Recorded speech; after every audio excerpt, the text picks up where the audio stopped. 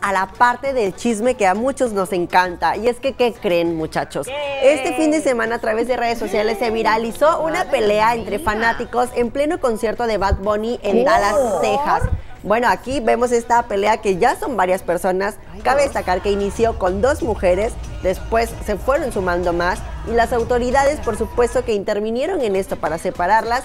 Y ahora el reporte es que, pues sí, fueron eh, pues, detenidas pero que, bueno, finalmente fueron liberadas bajo fianza después de unas horas. Imagínense que estés en un concierto y de pronto te toque esto, el público, obvio que no sabía a dónde ver.